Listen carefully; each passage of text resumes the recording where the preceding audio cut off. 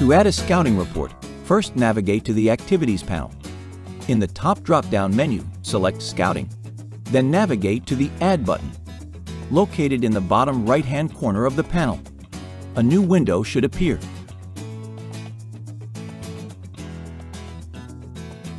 Start the report by inputting the date and name of the person creating the report. You will need to add an operator before this step to view their name on the drop-down list.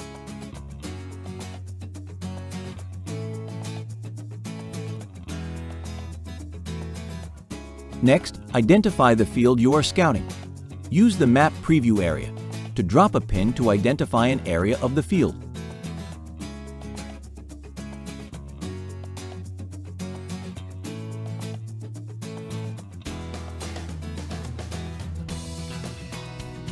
Scroll down to find the crop section of the report.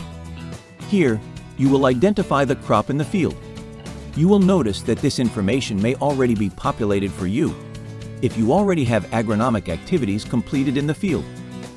If you know the variety, seeding date, and emergence date, you can enter that information here. There is also an area to show the growth stage and stand count at the time of reporting. Next, select the category of observation, disease, insect, weed, pest, or custom. Then in the detail area, select the species of pest. You will notice that the menu will change depending on which category was selected first. Finally, determine the severity of the infestation. The severity identified here will determine the order of scouting reports listed in the Activities panel. More severe observations will be listed first, with less severe reports showing lower in the list. You can choose to add images to the report, with a maximum of three images per report. Next, provide any comments. For example, an agronomist may use this area to describe the infestation and provide recommendations for best course of action. Lastly, indicate whether this report is open or closed. An open report means no action has been taken.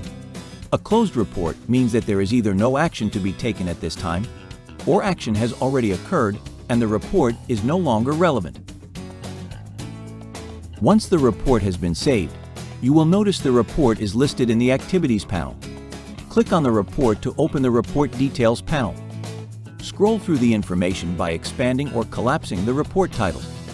You may edit the report at any time by clicking on the pencil, located in the bottom right-hand corner of the panel.